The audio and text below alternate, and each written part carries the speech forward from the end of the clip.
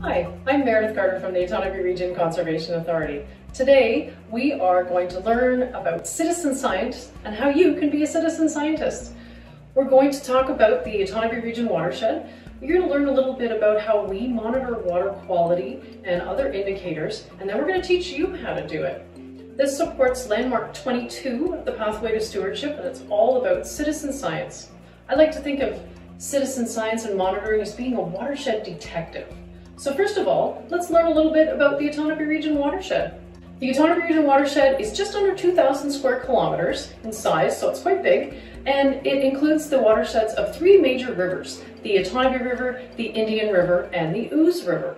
Watersheds are kind of like bathtubs. So if you think of a bathtub, the height of land in a watershed is like the edges of that tub. So if you pulled all the curtains back, turned on the shower, the water's gonna hit the edge of the bathtub and it's either gonna go into the tub and down the drain or it's gonna go out onto the bathroom floor. And watersheds are just like that. So that height of land, the highest point, is what divides all of the watersheds. So all of our work is in the Otonabee Region watershed, and we're one of 36 conservation authorities across the province.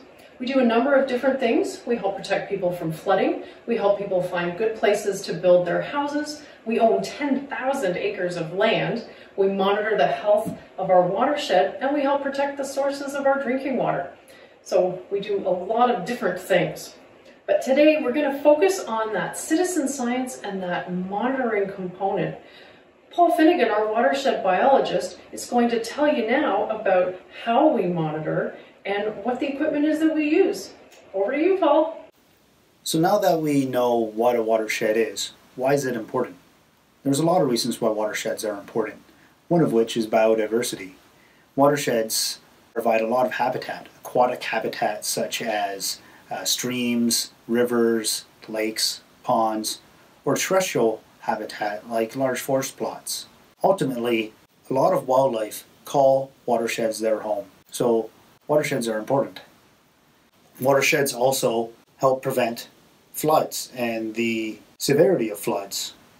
Wetlands retain a lot of water after an extreme severe rain event when all our snow melts. So when there is a flood, a lot of that water that may damage our property or flood our basements would end up these wetlands instead. So a watershed that has a lot of wetlands can prevent how floods can affect us. Riparian zones are also important for the impacts of floods. Riparian zones are areas right next to a creek or a stream or a lake. And these areas, when they're vegetated with a lot of shrubs and trees, can prevent uh, erosion, so uh, damage to the ground and loss of property. Uh, watersheds are really important to help prevent the damage that floods can uh, present a community. Watersheds can help us have cleaner water. Wetlands filter water, riparian zones protect water from pollution, and some people get their water from groundwater, from wells. And uh, healthy forests mean cleaner groundwater. Watersheds are also a lot of fun. There's a lot of recreational opportunities like boating, kayaking, canoeing, swimming, fishing, and the list goes on. Ultimately, a healthy watershed translates to not just a healthier environment, but also promotes uh, better human health as well. So, water. Swim in it, we drink it, fish breathe in it, ducks float on it. How do we monitor water? And how do we use water to assess how good our watershed is? Well, part of my job is to assess how well our watershed is doing. So think of this. How does your teacher assess how well you're doing in school? You get a report card and you get grades. Part of my job is to grade the watershed. And one of the things I test the watershed on is water quality. So I produce one of these watershed report cards, and just like your report cards, inside this report card, it gets grades A's, B's, C's, and one of those grades is for surface water or water quality. So how do I get to those grades? How do I test water quality? I have a lot of really cool tools that I want to show you and uh, share with you. One of those is a, uh, a temperature logger. This little unit here, I can put in the water, whether it be a stream or a wetland or a lake, and every 30 seconds it's going to record the temperature of that water. It can do it for weeks, months, or even years. And then I can just download it on my computer and get all that data on water temperature. Another tool that I use is uh, I just simply collect water and send it to someone else. So I might uh, use one of these bottles, fill it up with water, and I'll send it to a special laboratory where they'll test if there's any metals in it or pollutants, anything that I want to know about that water. I can get a laboratory to test that out for me. I also have this uh, water quality probe. So this thing right here, there's these sensors and each one of these sensors tests something different in the water. Could be the amount of salt, could be uh, water temperature, uh, dissolved oxygen, so the amount of oxygen in the water. Things like fish that have gills, they breathe oxygen just like you do, but in the water. So we can measure how much oxygen those fish have. This also measures uh, pH. pH is a measurement of uh, how alkaline or how acidic water is. And certain organisms, like fish, need a, uh, a certain pH to be able to live in for them to be happy. Take a look at this chart. When you're looking at this chart, you'll see that uh, fish need a certain pH to live, and that range in pH is fairly narrow. So pH is really important and is something that we measure to help to assess water quality in our watershed. Another important parameter that we talked about a little bit already is water temperature. If you want to take a look at this chart, you'll notice that certain fish like certain temperatures of water. There's fish that like warm water, like largemouth bass, and fish that like really cold water, like our trout and salmon. I'm going to send you over to Meredith. She's going to explain how you can test water quality near you without all these fancy tools. Hi everyone. Now that you've learned a little bit about how we monitor water quality at Otonabee Conservation with all the equipment Paul just showed you, I'm going to show you a couple of really simple ways that you can monitor water quality at home or in your classroom using uh, some really simple tools. So we're going to use some pH test strips that you use in pools and hot tubs, and we're going to use a pool thermometer. Uh, both of these things you can buy at any pool supply store, any hardware store. If you've got a pool or a hot tub at home, you've probably seen both of these uh, around. So first of all, we're going to look at pH. So you learned a bit about pH with Paul, uh, and you've got your pH scale with acidic at one end, alkaline at the other, and neutral in the middle. And that neutral area in the middle is what is perfect for aquatic life. So streams and creeks and rivers in the Otonabee region watershed generally have a pH level between 6.5 and 8.5. That's perfect. That's just what most species need to live. So we're going to take a look at what the pH is in my two buckets here. This bucket is tap water. This bucket is from Jackson Creek. So you can compare different buckets, uh, different types of water if you want to, or, or you can just test one. If you are collecting water from a local water course, make sure that you do it safely. Uh, don't go down to a creek or stream bank in the spring when it might be slippery and the water's really cold and dangerous. Uh, make sure you've got an adult with you uh, or your teacher. So just make sure that, uh, that you're safe when you're doing any of these things. We're going to take our tester, we're going to stick it in the water, you just do a quick dip, then we have to let it sit for 15 seconds. And then what we're going to do is we're going to compare it to the scale. The scale comes on the bottle, and I've uh, blown it up for you. We're looking at the orange square, and what we're going to do is we're going to try to match it up and see where does it fall in the scale. So it looks like we're kind of between these two. So that's between 7.2 and 7.8. So that's perfect. Uh, as I said, the pH in streams and creeks and rivers in our watershed is usually between 6.5 and 8.5, so that's right within the range where aquatic species would be quite happy. So that's perfect. That's the first part of our citizen science. Now we're going to look at temperature. So as you learned with Paul, temperature affects the types of species that like to live in water. So some species like warm water, some species like cold water. So when you're measuring your temperature, you're just going to stick your thermometer in. Uh, if you are near a creek or stream, uh, you can put this right in the water. You're going to want a longer string on it. And again, you're going to want to be careful because you're near the water, so make sure you're not doing that by yourself. And you're going to take a look at the temperature. So if you are at a stream where it's really shaded um, and it might be really cold, the water might be really cold, even on a hot day, you're gonna stick your hand in, it's gonna be freezing. You could be in an area where there's groundwater upwellings, so that water's coming from underground aquifers. Certain species love that kind of water. Trout are gonna love that Cold water can hold more dissolved oxygen than warm water, so you're going to find trout species in there, uh, and it's often very good quality as well. So looking at temperature is like being a detective. You're going to start to understand more about your stream when you know what the temperature is. If you are putting your thermometer in, say, Chemong Lake, Chemong Lake is a warm water lake because it's really shallow, and you're going to get species like bass in Chemong Lake. So again, you can tell what kind of system it is by what lives in it. And those are things that we call bioindicators. And Paul is going to teach us some more about bioindicators now. Thanks, Meredith. And you're right. Living things can tell us more about water quality and how our watershed is doing. They're called bioindicators. Bio meaning biologically they're living, and indicators meaning that they indicate something about watershed health. I'll give you an example. Brook trout are a really good bioindicator.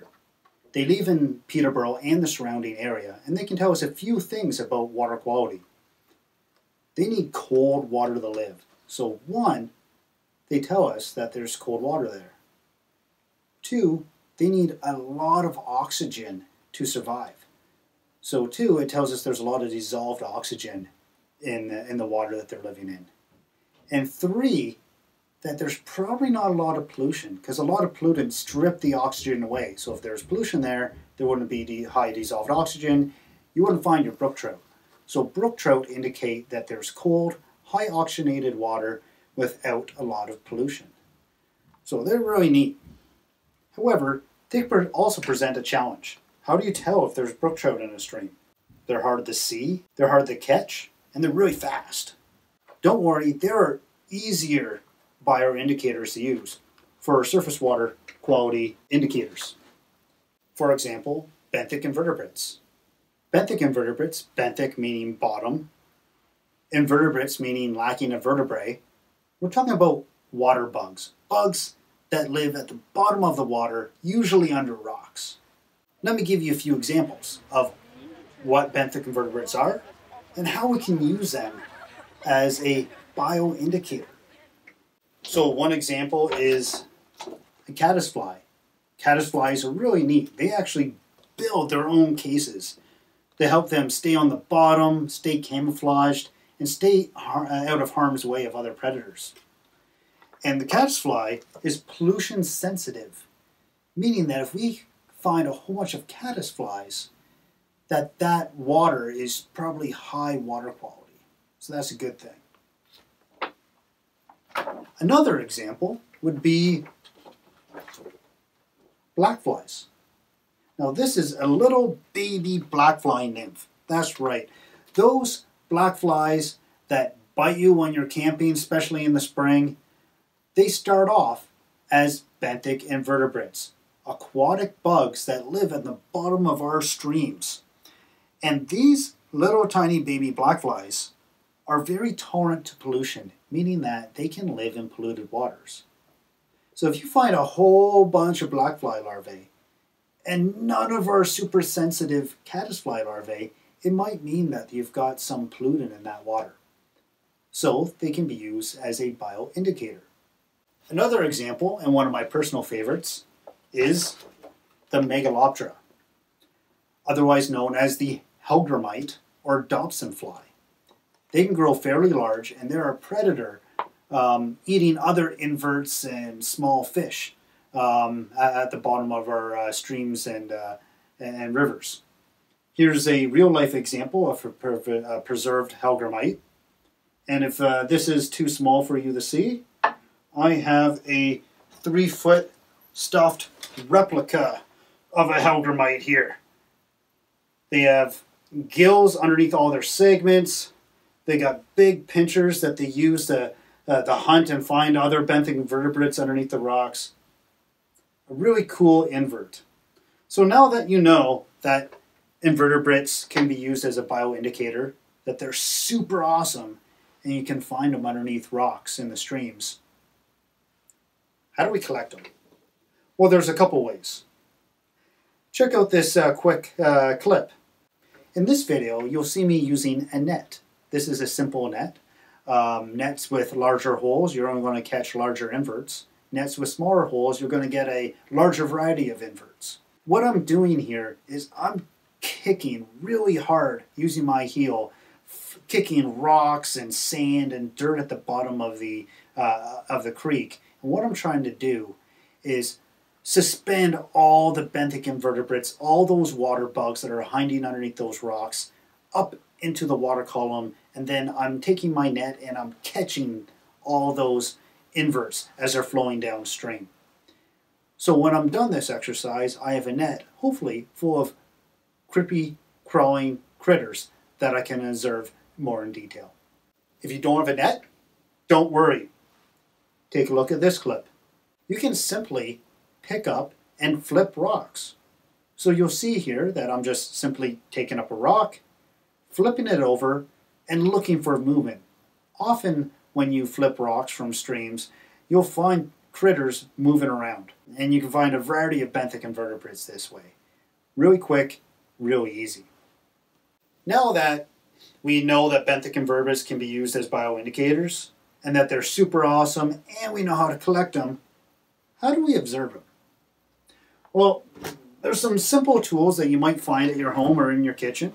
Ice cube trays, and you can simply sort out all the different uh, benthic invertebrates that you found with a little bit of water to take a little bit of closer look at. You can use a spoon, plastic preserved, uh, preferred, so you don't uh, um, hurt your uh, benthic invertebrates that you caught. And you can use them to help sort your benthic invertebrates.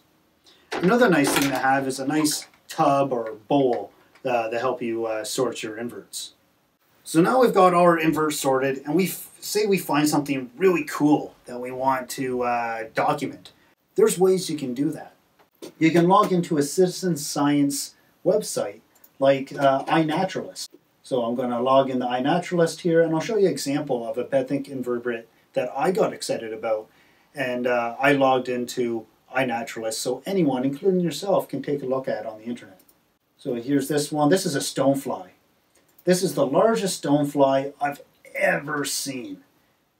I was so excited when I got this. I found it underneath a rock, took a picture and put it on iNaturalist. And stoneflies are really sensitive to pollution, so it means where I caught this um, stonefly probably had good water quality. Now I'm going to send you off to Meredith, where she's going to speak more to uh, citizen science and how you can get more involved with uh, data collection and documentation.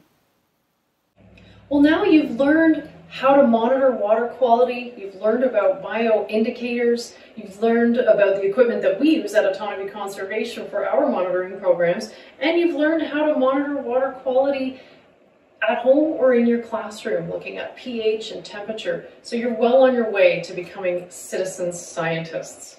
We hope that you are interested in continuing being citizen scientists, and there are many different programs that you can get involved in.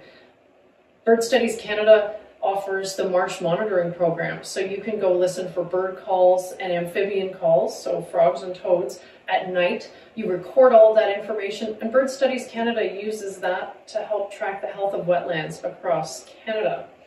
In Ontario, there's the Lake Partner Program, so you can sign up to go take samples every month of water quality and then you send that into the province and they use that to assess the health of the lakes across the province. You can also get involved in the Nature Watch programs. So those involve looking at ice, so when the ice comes on and off, tracking that time, uh, or when certain plants bloom in the spring and tracking, because over time, those change every year, so you can start to see patterns and also can help us understand the impacts of climate change.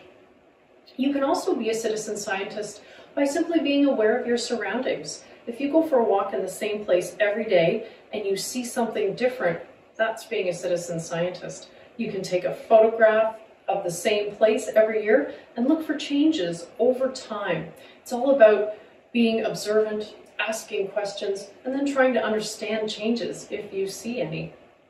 Sometimes just getting out in nature, using those tools that Paul showed you, the iNaturalist and the eBird, that's a great way to be a citizen scientist.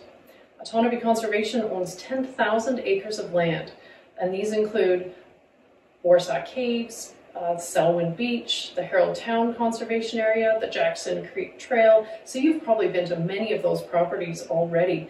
Those properties give you great opportunities to go learn about nature, to practice your citizen science skills. So we encourage you to get outdoors, enjoy nature, and we're so happy to have you along as citizen scientists in our watershed. Thank you.